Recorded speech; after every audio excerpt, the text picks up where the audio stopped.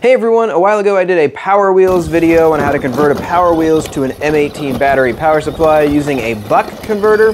And in the meantime, a lot of y'all have commented that it wasn't outputting enough power when you tried to go uphill or off-road. And I have a solution to that. Unfortunately, it's because the manufacturer of the buck converter changed the product without making any changes to the product listing. So I finally got to the bottom of this when my coworker and fellow engineer Alex tried to do the same conversion on his daughter's Power Wheels. And he bought the same kit, followed everything I did, and it wouldn't work for his daughter's car. So we kind of started troubleshooting back and forth. I made sure he had all the settings right. And finally, I brought one of my spare buck converters in, that's this one, and he compared it with his existing one and found out they were different. So here are the two buck converters side by side. The one I bought is right here. The one my coworker bought is here. The first thing you can see, there are way more windings on the inductor and they appear to be a slightly smaller wire diameter. So this is going to be higher resistance, both because of the wire diameter and the more windings, but you're going to have better performance on induction.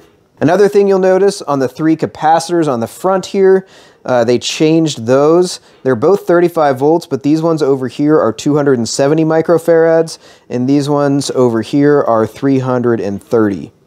I'm not an electronics expert, but overall this one appears to be much better connected and soldered than the other one is. My coworker also used a power supply bench tester, uh, and his topped out at set at 12 volts. It topped out at 10 amps and wouldn't do any more. That's only 120 watts, and these are sold as 300 watt units. He put mine on there. It ran up to 14 amps at 12 volts, and it maxed out the power supply he was using. So this one is far superior. Unfortunately, it's not made anymore. There is some good news though. If you bought the two pack off of Amazon, even with the new ones, if you wire both of these in parallel between the battery and the vehicle power input, you can still get enough amperage out of both of them together that it will work. So a big thanks to Alex for troubleshooting the low power conditions with these buck converters.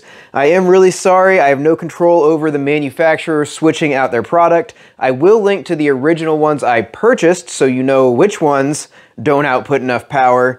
The good news is if you have bought that two pack already, you can connect them in parallel and get enough power out of it to run a Power Wheels.